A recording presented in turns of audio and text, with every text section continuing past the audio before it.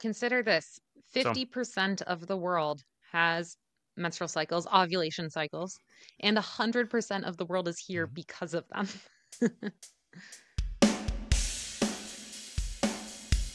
You are listening to The Dr. Haley Show, the podcast dedicated to helping you optimize your health.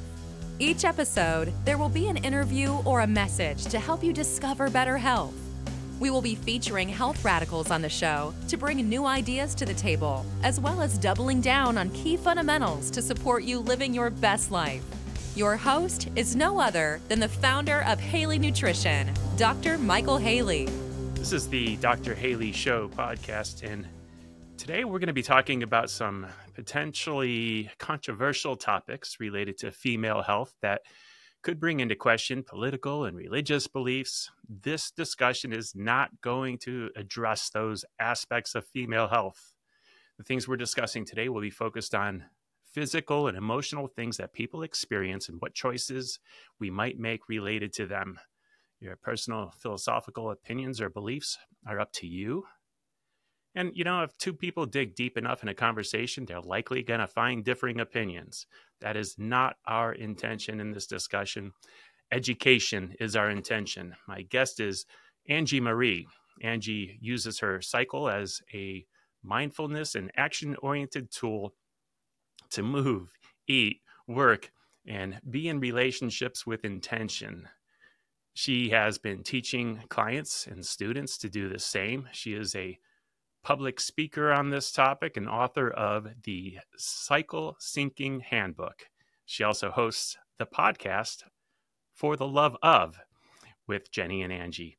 Other accomplishments include being a doula and fertility awareness educator. More can be found on her website. It's angiemarie.com. Angie, thank you so much for joining me today. Thank you. It's so funny to hear all of those, I guess, accomplishments back to back because I never thought I would be so into this period world. Yeah. Well, it's a beautiful thing. And how did how did becoming a doula fit in? I never was interested in anything about reproductive health growing up. I never saw that as a potential interest, let alone career path. I did not like the idea of being on hormonal birth control when I was in my, well, I'm still in my reproductive years, but especially thinking about college and in my 20s. I just had this intuition that I didn't want to be on some sort of synthetic birth control. So I decided to use the copper IUD. It works for many people. It worked for me, although I did have heavier periods and a lot heavier cramping than I had ever had before. So that was the downside. But I figure that's the price you pay to be a woman in society. You need some sort of birth control, whether or not you have period symptoms. Maybe you have symptoms with your birth control. So I went like that for a few years, just being okay, complacent about my birth control until one day I started having really severe symptoms. I was having stabbing pain in my pelvis, spotting that I would notice for on the toilet. And I thought, well, is this what they taught us as normal in health class in middle school? They said pain and spotting are normal parts of having a cycle. So maybe this is just my body readjusting to my environment. I had just gone through some life transitions. I was finally starting to fuel my body more. I had had the female athlete triad, or now they call it REDS, relative energy deficiency in sport. So I just was, I had lost my What was that again? Rel- Rads? They called it relative. Relative I haven't heard of it. energy deficiency in sport. It's what they used to know as the female athlete triad, but now we know that all bodies can have this set of symptoms. Basically, it's when you're over exercising and under fueling. You're not meeting your caloric or macronutrient needs in order to keep feeling healthy. That made me have stress fractures that were keeping me sidelined in my sports. I was super fatigued all the time, and I lost my period. That's where the triad comes in. So once I start getting these symptoms, I think, okay, maybe this is my body getting back to normal. Maybe it's starting to have a period again. Well, flash forward a few days later, and I'm in the hospital being told that I have an ectopic pregnancy, which is a pregnancy that occurs outside of the Mm. womb, outside of your uterus, and is very deadly. I was 24 years old at the time, and in order to save my life, they had to remove my right fallopian tube. And that just, I mean, totally threw me Wow. for a loop. I had no idea how my reproductive system even worked at that point. I didn't know how that had even happened. I didn't know the risks of different types of birth control and how I could minimize risk for other emergencies in the future. The way I coped with that was learning as much as I could about everything fertility, pregnancy, birth. That's when I decided to take a Yeah. birth doula training, a birth and fertility doula training. And I found that I actually didn't want to be necessarily working one on one with people in birth and pregnancy settings, but I loved talking about menstrual cycles. And that's how the Hormone Hacker was born. It was my first successful business where I was blogging and creating courses and teaching people the symptothermal method of fertility awareness for birth control or to help them conceive. And so now I have this beautiful relationship with my own menstrual cycle. And I hope to have other people that same relationship because part of in tune with your menstrual cycle is knowing when there are potential problems.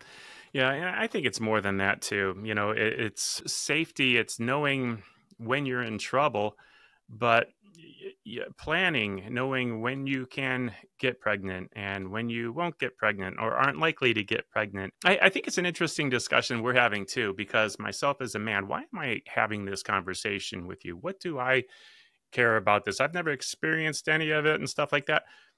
We have to know what's happening eh, with our loved ones. Uh, in my case, you know, well, I have a daughter, and can she approach me if she has a challenge, potentially dangerous medical something happening in her? And I like that, you know, you're making this natural conversation. You're letting people know it's okay to talk about these things.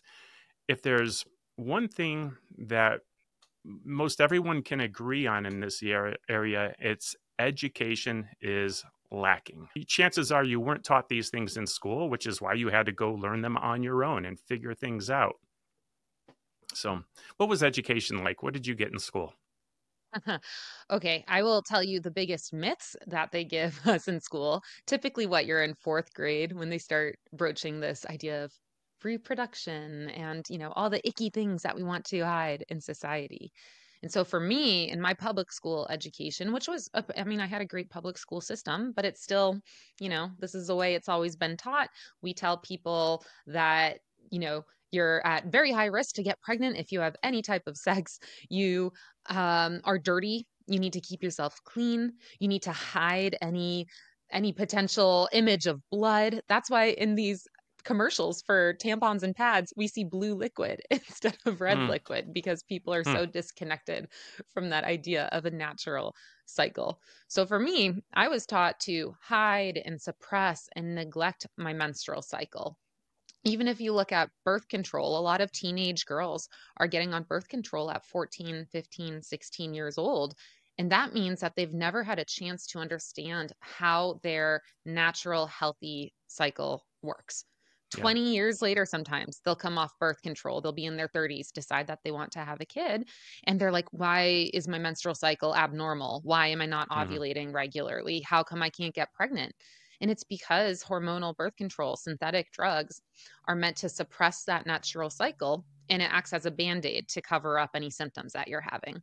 So when these teenage girls are getting on birth control to manage acne or mood or other symptoms, they're really just covering up those symptoms with a band aid and not treating the cause at the root. And those problems are going to come back out potentially decades after when you finally decide to get off birth control. I think we Now- need to do a lot better at educating the benefits and the risks of all of these options. So, is birth control dangerous long term then to the female uh, reproductive system? With men, we know that you know if we take uh, performance enhancing medications or hormones, that long term it can hinder our body's natural balance of these same hormones. Mm.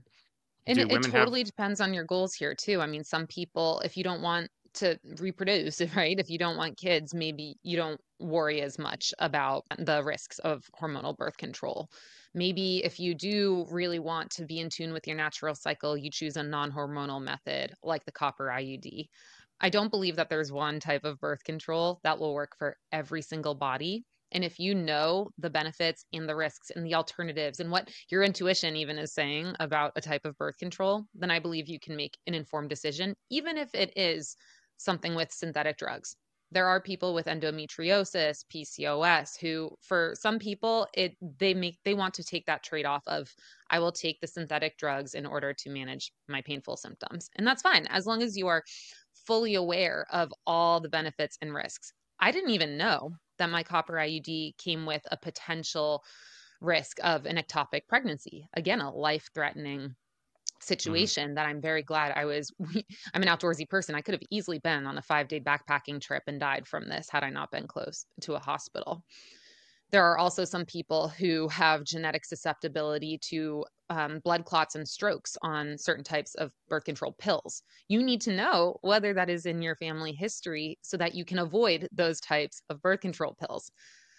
So, really, mm. it's all about knowing your options, asking the right questions of your doctor, never feeling rushed or bullied into making a choice when you don't have all the information first.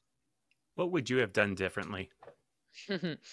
You know, I think it would start all the way. I like to think about this as if I have a daughter someday, how will I give her a good relationship?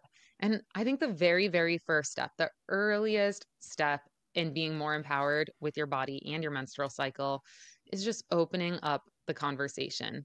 Instead of entering these health classes as a place for kids to learn how to, you know, stuff their tampons in their sleeve when they go to the bathroom or you're dirty or your body's a problem, I mm. think we should be teaching them about what is actually happening, even on a hormonal level.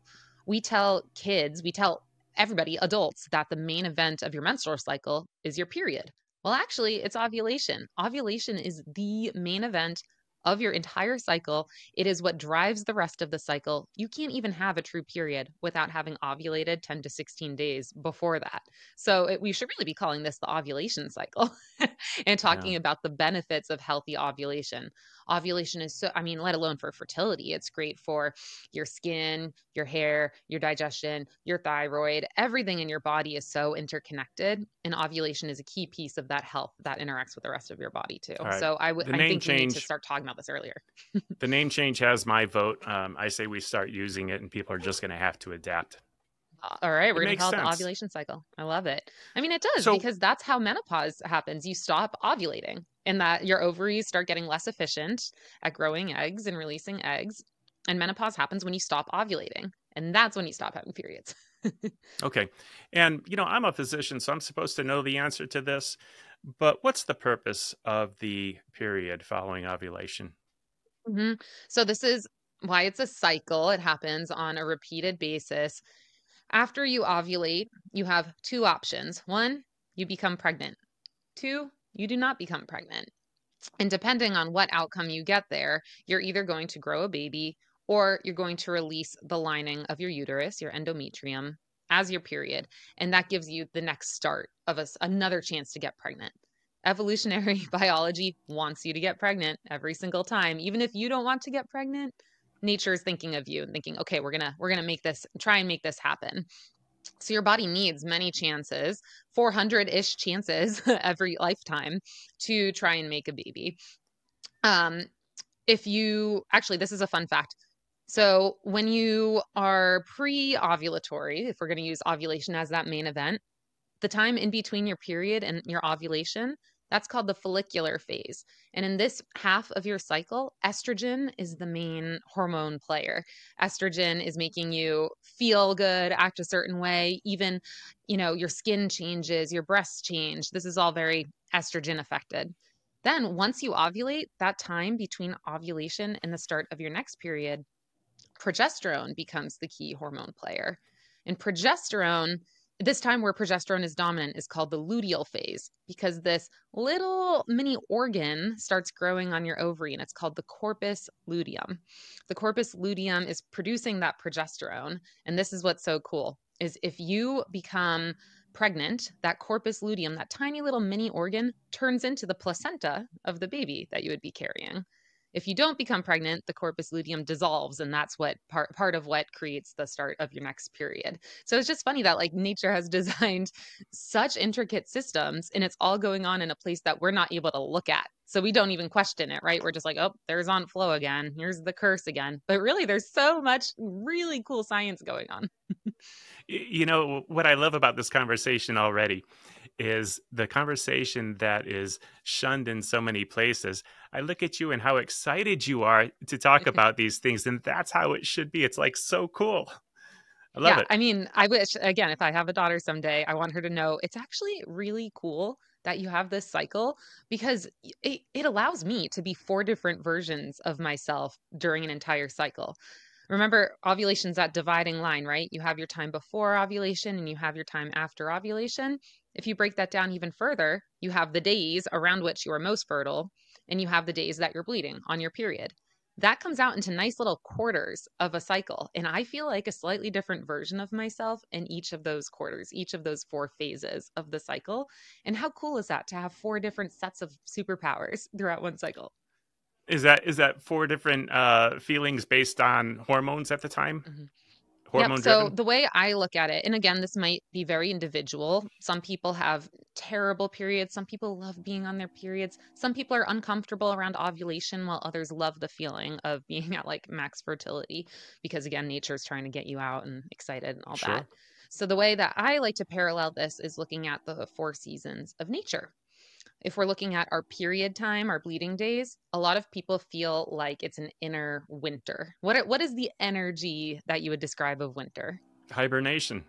Mm-hmm. Oh my gosh. Imagine if you could have in this busy, busy world where we're just go, go, go, rush, rush, rush all the time.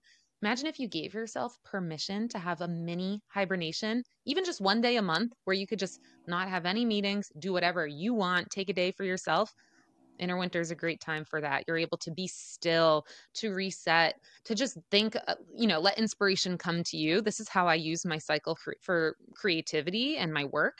I just let things come to me during my inner winter or my period. I'm not trying to actively plan or strategize or be in that hustle mode yet because that'll come in my spring and summer. But I want to lean into that energy being a little bit more still and hibernating. It's not like I'm totally withdrawing from the world, but I am letting myself have a little bit more of that quiet time with myself and introspection. Then, once you finish your period, you're moving more into your follicular phase. That's what I like to think of as my inner spring. And that's when, you know, ideas start sprouting around. There's a reawakening, just like in nature. You start to, you know, water this garden of ideas, but you're not necessarily in full bloom yet because you need to plan a little bit more, maybe set some intentions, create the strategy for where you want to go that cycle. Boom, summer, your ovulatory time. That's when these ideas are in full bloom. That is when you are on display to the world on whatever stage that you that you prefer. You're collaborative, you're finding new people to meet, you're trying new things, you're feeling really strong and confident. Thank you nature. And then of course, just like every summer ends and turns into fall, it happens in your body too. So after ovulation and as you get into those premenstrual days, it feels like an inner autumn where you need to take a step back, prune back to what truly matters, get things finished up, completed, edited, ready for winter. Because, of course, this is a cycle. You'll get all the seasons again. And so this is how I love to look at right now I'm in my inner summer. So I'm feeling even though I'm so busy this week, this week has, you know, some people might call it like hell week, but I'm actually like this is a good time for all of these things to be on my calendar because I have that extra energy and confidence that's coming with my summer. You enjoying the show thus far? One of the many health secrets that we have covered on the show is all around aloe vera, specifically drinking raw aloe vera our aloe vera has helped our customers effectively heal their gut, increase their intestine health, lower inflammation in the body, eliminate and or decrease acid reflux, have glowing skin and hair, and so much more. Now, as a frequent member of our audience, you will be exposed to exclusive specials and coupon codes for the awesome products manufactured by Haley Nutrition. That's right, for simply being awesome and tuning in you can get a mini discount to help you optimize and better your health. To see how we can help and support you on your health journey, tune into the episodes and listen for coupon codes that you can use at www.haleynutrition.com before you make your orders of raw aloe vera. Once again, it's www.haleynutrition.com. Now, back to the show. I want to talk about the different methods of birth control different categories, all the different options there are. and then really break down the method of planning and knowing your body and knowing when you can get pregnant and when you're likely not to. Yeah. What are what are the different options? There's hormonal. So if you're looking at, you know, a birth control that you can go to the doctor and get prescribed. You have those physical barriers and you have hormonal barriers. Physical barriers are things like condoms or diaphragms. Actually, I I think diaphragms are great. They're kind of out of style now. Nobody really goes to the doctor and asks for a diaphragm, but they can be a really good option or alternative to condoms, or you can use them both together for even more efficacy. All of these different types of birth control have a different efficacy rate. So, for example, if you're using condoms in a really responsible way and you are, you know, you're, you're following all the rules that they tell you, they're still mm, 93, 94% effective at preventing pregnancy. But if you're using that with another form of birth control, like a diaphragm, or just by knowing when you're fertile and when you're not, that increases a lot. If you're not following the rules of condom usage and you're just kind of like, oh, whatever, it's close enough, that'll drop your efficacy rate down into the 80s. So, really, whatever method you're going to choose, make sure you know the rules, make sure you know the risks, and I would argue if you can learn a fertility awareness method on top of whatever method you choose, you're going to be in such a better place. For me, my copper IUD was 99.4% effective at preventing pregnancy. And unfortunately, I was part of the 0.6% where it just did not. There was nothing wrong with it. It's just the way that it's built. They don't necessarily know why, but sometimes it fails and it doesn't do its job if I had been tracking my cycle by using a fertility awareness method, even if I wasn't relying on it for birth control, if I was just noting my fertility signs and symptoms, I would have caught that ectopic pregnancy before it ruptured my fallopian tube and sent me into a really life threatening situation. So people can do this with whatever, if they're even on the pill. There are times when the pill fails, right? I'm sure you know people who have gotten pregnant while on the pill. It just happens sometimes, whether or not you're following perfect use of the pill. If you are monitoring your fertility cycles, you'll know, oop, I'm actually potentially fertile these days. That means that I am either going to abstain completely from unprotected sex or sex at all, or I'm going to use double up on different methods. Yeah, yeah. Um, the fertility awareness. Um, let's start with the when should you avoid intimacy? How many days prior to, you know, I'm turning it over to you. there's yeah. so there's so much information here. So I would love to start just by busting the myth. A lot of people hear fertility awareness method and they immediately think calendar method or rhythm method. These are not the same. Uh, I use the symptothermal method of fertility awareness. The sympto means that you are looking at changes in your cervical mucus, and the thermal means that you are taking your temperature, your basal body temperature upon waking every day. When you combine those changes across your cycle, you'll notice you can actually graph this, and you do graph this if you track your fertility signs. You can graph your thermometer your thermometer readings over the course of a cycle and you'll notice that after ovulation, your basal body temperature is higher than before ovulation. Again, ovulation is that main event. You'll also notice changes in your cervical fluid. Your cervical fluid or your cervical mucus almost becomes like egg white consistency when you're at your max fertility and it will dry up when you're not as fertile. So by putting these symptoms on a graph, you are able to get a visual representation of when you are potentially fertile and when you are not. And that differs from just counting days like a calendar method or a rhythm method. We're using actual science here. And when you actually practice method, again, following all the rules, it's 99.6% effective at preventing pregnancy. Of course, on the flip side, if you're collecting all this data, you're able to also know when you can potentially get pregnant. So if that's a goal of yours is I want to mm-hmm. conceive, you can time sex for the days that you know you are most likely to be able to conceive. So the way this works, and I, again, if you're going to use this for birth control or even to conceive, you want to be working with somebody who can teach it to you. There's a great book called Taking Charge of Your Fertility by Toni Weschler. That's a great place to start. But again, don't practice everything I say unless you have t- talked to an educator like myself. So you're looking at your cervical mucus. Cervical mucus is that liquid that fluid that you'll start to notice on your underwear in a cyclical pattern. It can sometimes look white, it can sometimes look sticky, sometimes it's clear, sometimes it's stretchy and wet. All of these qualities are connected to your hormones. So after you finish your mm-hmm. and that I'm sorry, that's approximately on what day compared to ovulation? So, if you were looking at an, a healthy cycle, a healthy regular menstrual cycle falls in between 25 to 35 days long. That means that there are 25 to 35 days in between the start of one period and the start of a next.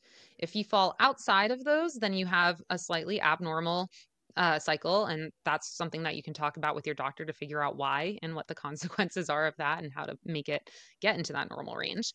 But typically, people who are in that 25 to 35 cycle time frame they are ovulating somewhere 10 to 16 days before the end of that cycle so for me I have a 27 ish day cycle. The past couple years, I've been pretty consistent with 27 days. I typically ovulate around day 14 to the best of my knowledge and what my data shows. You can't know for sure the moment of ovulation unless you have an ultrasound wand. But for me, I know I'm ovulating about day 14. I'm getting my period after day 27. So that for me is healthy. I'm in that normal range.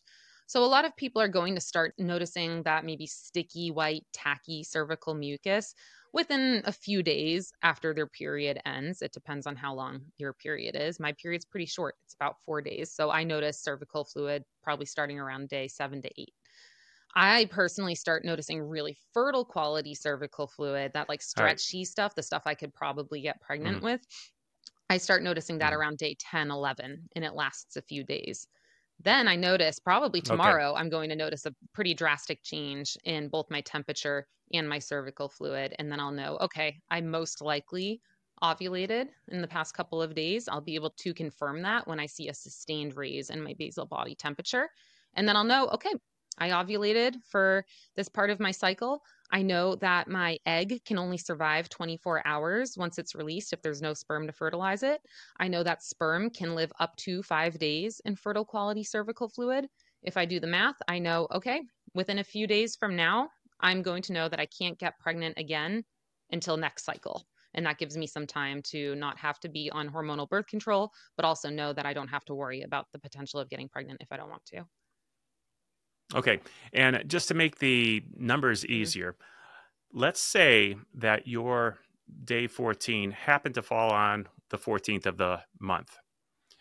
I'm hearing that you would see changes in the cervical fluid around the 7th of the month of that particular mm-hmm. month approximately. And if you had intimacy, probably starting almost any time after that, that could actually uh, fertilize the egg when you ovulate or having intimacy as far as a day maybe even maybe even 2 days after ovulation. Mm-hmm. Yep.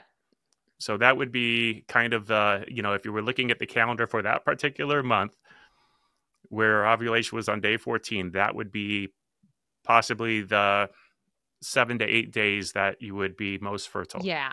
Yep. So you're there's generally mm, let's say you have like a 28 day cycle there's really only about a quarter per, a quarter of that time, like 25% of that time where you could even really worry about getting pregnant unintentionally.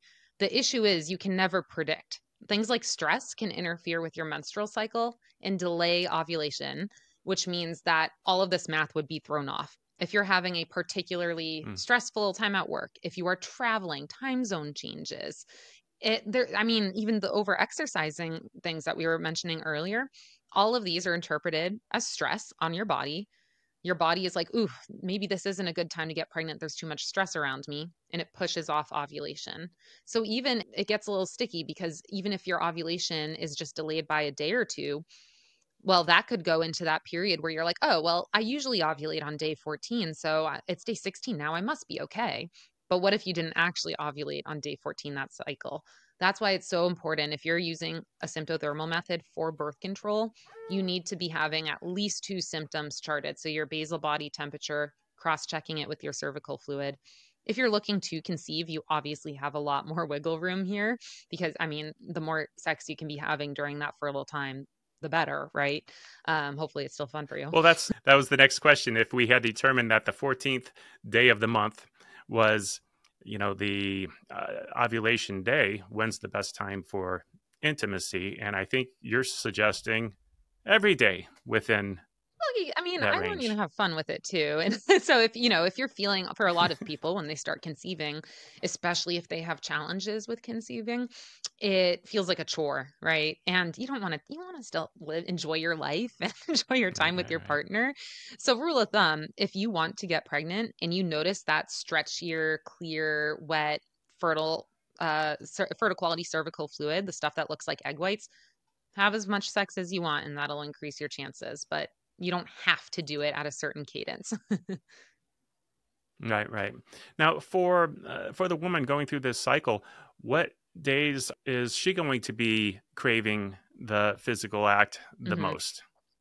I would imagine it correlates very well with the most fertile time. Yes. Thank you, nature. So again, we're you know we're mammals, we're evolved humans who our our goal as a species like any species is to reproduce. So nature has designed you to feel like you actually want to be not just necessarily having sex but also meeting people dating even just making new friends feeling your most social.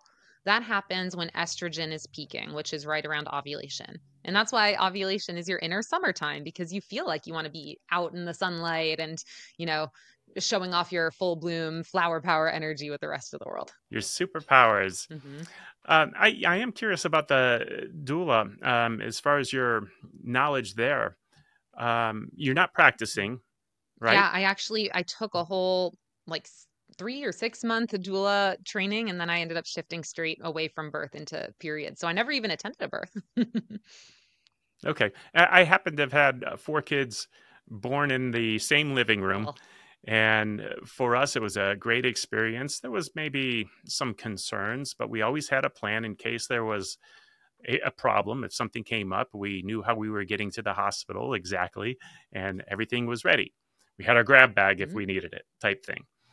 Um, what have you learned in all of that training? Ooh, my favorite tool that I use from doula training is the idea of using your brain. And brain is an acronym brain is something that you should bring to every single doctor's appointment. You know how when you go sometimes with some doctors, when you show up to the doctor's appointment, you get that white coat syndrome where you just feel nervous because they're a person of authority who has all this training and what do I know about science and medical everything anyway? And a lot of times the people my clients when they go to the doctor they get so nervous they can't even remember their questions that they had so brain helps you remember to ask the right questions b stands for benefits. What are the benefits of this thing that the that you doctor are recommending to me? So maybe they're recommending a type of birth control. Maybe they say, actually, you should really try the NuvaRing.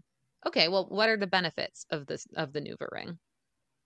R, what are the risks? This is one that a lot of people forget. What are the risks of this particular type of birth control? I know it's so it I mean these days thankfully it's easy to find birth control if you want it relatively, right? Um, but there's I, I remember getting my first IUD at a Planned Parenthood. I was able to make uh, an appointment maybe a week in advance and it was relatively painless which i know it isn't for everyone but for me it was pretty easy and i still didn't ask for the risks and i still don't remember them listing you know signing away. I'm sure you do sign at some point right? But you just got to ask have that conversation with your doctor a in brain stands for yeah. alternatives. Okay, are there any alternatives to what you're offering me? Actually, I don't know if I like the sound of the NuvaRing. What other low dose hormone options are there for birth control? I stands for intuition. What is your gut telling you about this? I mean, for me, I did not like the sound of using hormonal birth control. My intuition had been telling me for years, don't try it. And then after I got my fallopian tube removed from this emergency surgery, I was like, Ugh, I don't know. Should I try a totally different type? I mean, this, the copper IUD didn't work for me. Maybe I should try a hormonal one. Oh my goodness. I had anxiety, mood swings, anger. I was not, I had the only panic attack I've ever had in my life. And it was because my body wasn't used to and didn't like the synthetic hormones. I wish I had listened to my intuition and just never tried it for those few months. And then finally, the N in brain is what happens if I do nothing? Then is for nothing. So this might be more less for birth control, maybe, but more for, um, you know, if you are giving birth and you they say actually you should really have an epidural, and you go through your your benefits, your risks, your alternatives. What does your intuition say? Then you can say, okay, well, what if I just don't have an epidural? Then what? So that's one that a lot of people forget is you don't have to do anything. You want to make the most informed decision you can. And that comes from asking all the other letters of brain. That's great. Could you give that to us one more time, mm-hmm. just in rapid fire, the acronym BRAIN and what they stand for? B, benefits, R, risks, A, alternatives, I, intuition, and N, nothing. What happens if I do nothing? All right. That's perfect. And I want that because it's going to fit on a short. Mm, love that. um, because I, I, hear that and it can be used for so much more than birth control. Oh. It can be, it, it's a good acronym. I like That's it. Great. What do you wish you were told as a teenager experiencing these things? You know, what should parents um, share with their children that are going to be going through these changes? Mm-hmm. Number one, there is no need to feel shame about anything in your body, but know that the media is going to try to make you feel shame anyway. We have very unrealistic standards of beauty and bodies on TV, on Netflix. And that will permeate your brain and make you start comparing yourself. It will give you toxic messaging that, you know, your body is something to be shameful of, to hide. I mean, you know, there's the whole joke of, if like a male and female nipple are the same, but we can't show female ones. we just have to blur it out. I mean, we're we're just inundated with the messaging that we need to be hiding our bodies. And I wish I knew that that as a teenager, I wish I knew like, okay, that's to be expected. That's where society is right now. But I don't have to, I can choose to filter that out. I don't, I can, I can feel the pressure, but I don't necessarily have to feel shame or guilt around what my body looks like. I got my first period ever on my 14th birthday. Woke up to my period. Happy birthday from Mother Nature. And I didn't even tell my own mother until that night because I was just so nervous. I was like, this is awkward and embarrassing. I wish I just hadn't, you know, had to shove uh, toilet paper into my underwear. I should have just asked my mom for a pad or a tampon, right? And number right. two, I wish that again that we could just share more of the good parts of having a menstrual cycle, an ovulatory cycle, the health benefits from ovulation alone, even if you're not trying to have a baby, you're growing bone health because of that estrogen. It's good for your skin. It's good again, it's good to for every part of your body. If you're of reproductive age, we want to be promoting healthy ovulation. It's a beautiful thing the superpowers. That's a beautiful thing. The collaboration that comes from women when we're interacting with people of different parts of our cycle. Imagine if you had a room full of women and some of them were having their superpowers of winter, some spring, some fall, and some autumn. Imagine the ideas that we could come with with all of those different strengths. So I just really wish I had known that there were any positives to having a menstrual cycle since all we focus on are the negatives. I'm Dr. Haley interrupting this podcast. As a thank you for listening, here's a coupon code you can use at haleynutrition.com during the month of July 2024. Get 20 bucks off your entire purchase of $200 or more. If you're purchasing our famous raw frozen aloe vera gel and have been only getting two bottles at a time, this is an excellent opportunity to upgrade your order to four bottles. The summertime is brutal to the frozen food industry, and two bottles just melt too quickly. But four bottles ship a lot better. They will still melt quite a bit in the mail for three days, but will arrive much colder than two bottles. Or use the coupon to try some of our other products. The Greens vegetable and fruit powder is a customer favorite, an excellent way to get your phytonutrition. The Youth Derm Aloe Cream is our number one add on product. I use it every day. So head over to haleynutrition.com and use the code Happy July one word, no spaces, for $20 off your order uh, of $200 or more now through the end of July 2024. If you're enjoying this podcast, please give it a thumbs up or leave a review, depending on which platform you're on. Thanks again and enjoy the rest of the show. Now, do you wish your mother had maybe a couple years earlier said, "Here, this is a tampon, this is a pad. I want you to have these, and this is what might happen"? Yeah, you know, I think that for my year, family, it or- was pretty hands off, and I think this is typical, especially in America and um, with generations. I think it's changing a little bit, but you know, I got the books. We went to the library. She, you know, gave me resources, but it still wasn't an encouraged conversation. I think that's the difference. Is like as parents, as adults, we have several options. One, we can avoid it and make it sound shameful. Two, we can neutralize it, but also not really be super involved.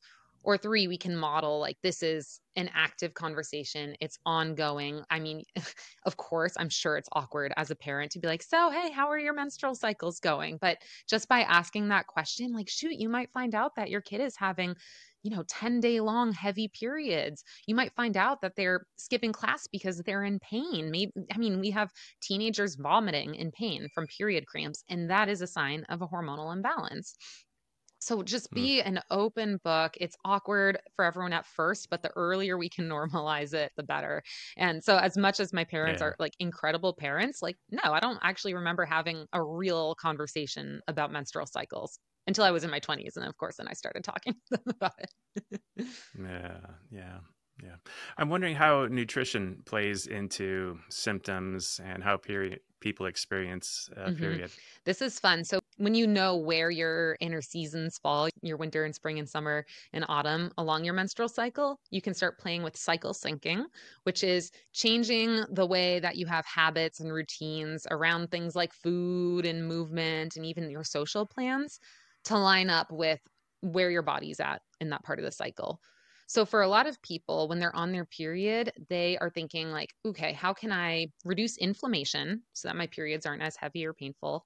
And how can I replenish the minerals that I'm losing through my period?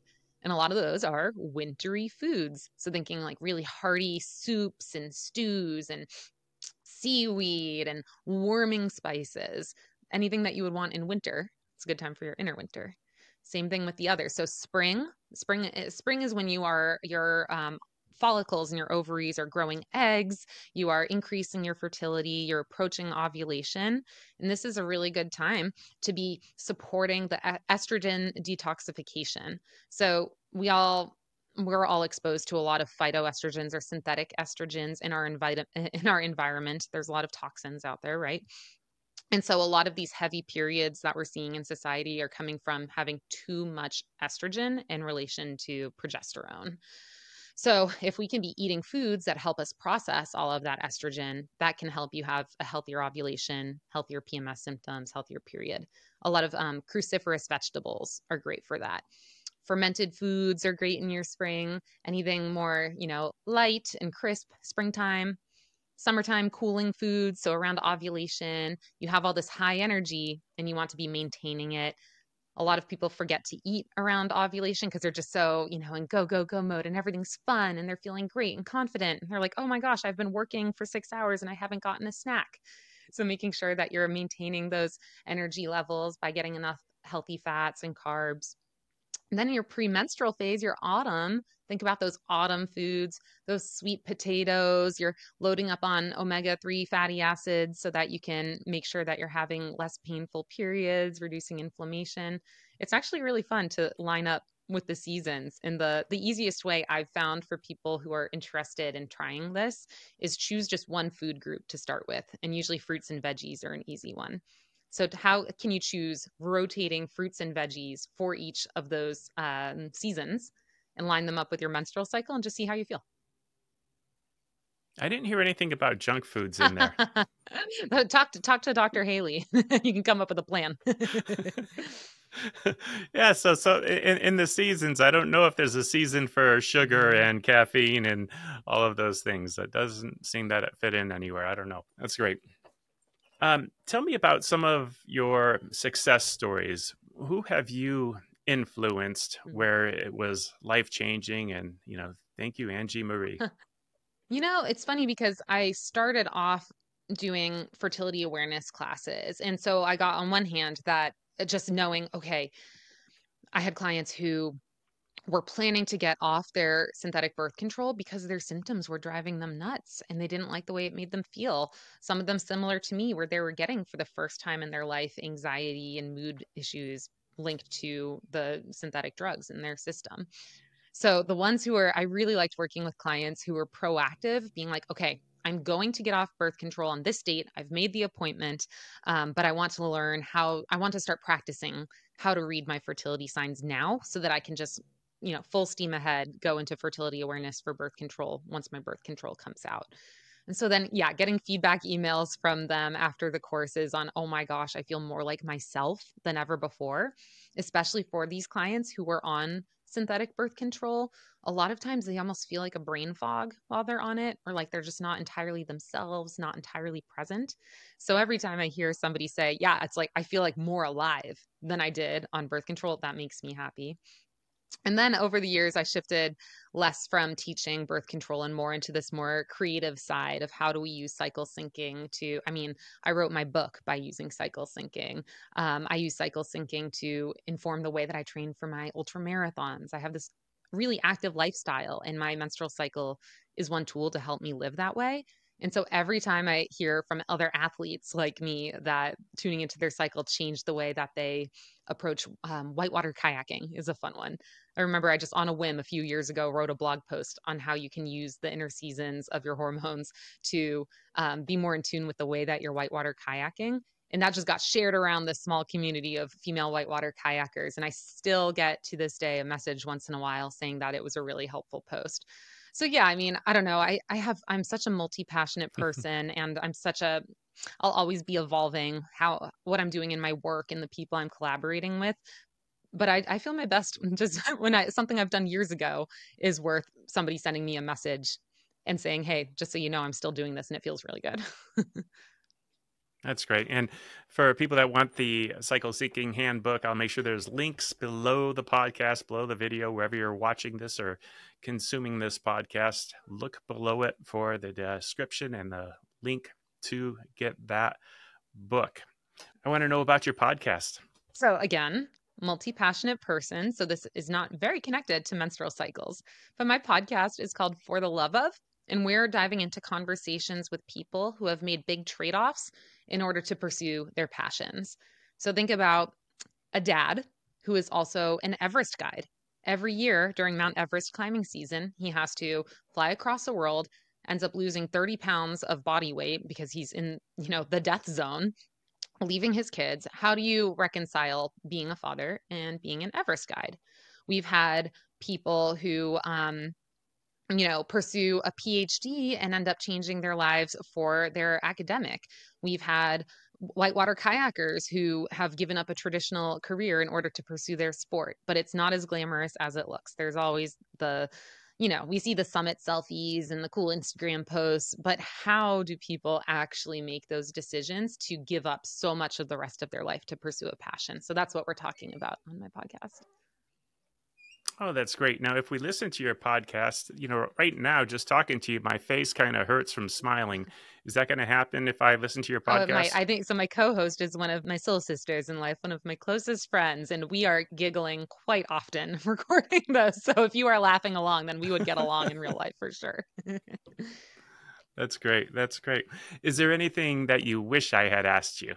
Mm, you know, um, I wish that you had asked how can non menstruators better support menstruators? Because, like you said, you don't have periods, but you have people close to you. You have kids, you have people in your life that you care about who are cycling humans. So, my challenge for you is do not avoid these conversations. Do you know um, Toastmasters, a public speaking club? Yeah, so yes. I'm, I'm in a Toastmasters group, and I remember my first speech was about the menstrual cycle. It was a virtual speech. I gave my speech about menstrual cycles, which is definitely not a topic my Toastmasters Club had ever had somebody speak on before. And then you go, after you give a speech, the other people in the club give you an evaluation. They say what you did well, what you could improve on. And I remember a man was giving me an evaluation, and he said something along the lines of, Oh, yeah, I thought it was cool that you did this topic because usually when my my wife and my kids all get their periods, I just know like to leave them alone and to go hide. And I was like, well, this is then you missed the point of my entire speech. because if we're just running away from our loved ones because we don't want to talk about, well, how are you feeling? And like, yeah, how how are you feeling now compared to last week? Because you might be a totally different person. So my challenge to any non-menstruator out there is know to know you are also a cyclical being. If you you Michael, you have a 24 hour hormonal cycle. You are experiencing these shifts in your hormones, in your testosterone, that are shifting on a 24 hour cycle. Some of us have the same shifts, they just take their 25 to 35 days. I wouldn't want to avoid you for an hour a day just because I'm uncomfortable with what's going on in your hormones. So, my challenge to you right. is to lean into it, ask more questions. Don't just hide and whisper about periods and make jokes about PMSing. Let's talk about it. Yeah, I agree. I agree. This was a fun conversation. And, you know, I, I happen to have the most incredible daughter, and I would like to think that she knows that she could approach me and talk about absolutely anything. Mm. I hope that's the case. I hope I'm having that environment for her. And uh, I know in today's day and age, some you know little girls only have one parent and it might be the man or it might be the mom or it might be adopted parents even and it's this kind of conversation that helps break down the barriers and open that up so that people do feel comfortable having those conversations. I want to encourage the men. That's why I wanted to do this. Why would a man want to interview someone and learn about the menstrual cycle? because we have people around us that are experiencing these things and they might need us. Well, consider this 50% so, of the world has menstrual cycles, ovulation cycles, and 100% of the world is here mm-hmm. because of them. right. That's right. So true. That's a beautiful thing. Angie Marie, I want to thank you so much for joining me in this fun podcast topic, and thank you for making it so exciting and inviting. Okay, you've got a YouTube channel, I bet. I'm not on YouTube actually. I'm more of an Instagrammer. Uh, you can find me. Well, actually, now I have several. I would just start at my website. You'll find everything you want there. www.itsangie. Links to the social uh-huh. media profiles yep. from that. Okay, awesome. Sweet. Thank, Thank you, you, Angie. I hope you enjoyed that episode today on the Dr. Haley Show. Make sure to hit subscribe on whichever platform you are listening to this.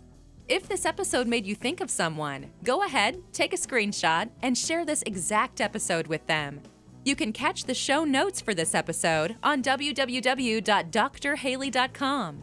If you want to geek out with Dr. Michael Haley on other radical health topics, be sure to check out his YouTube channel, where he posts exclusive video content.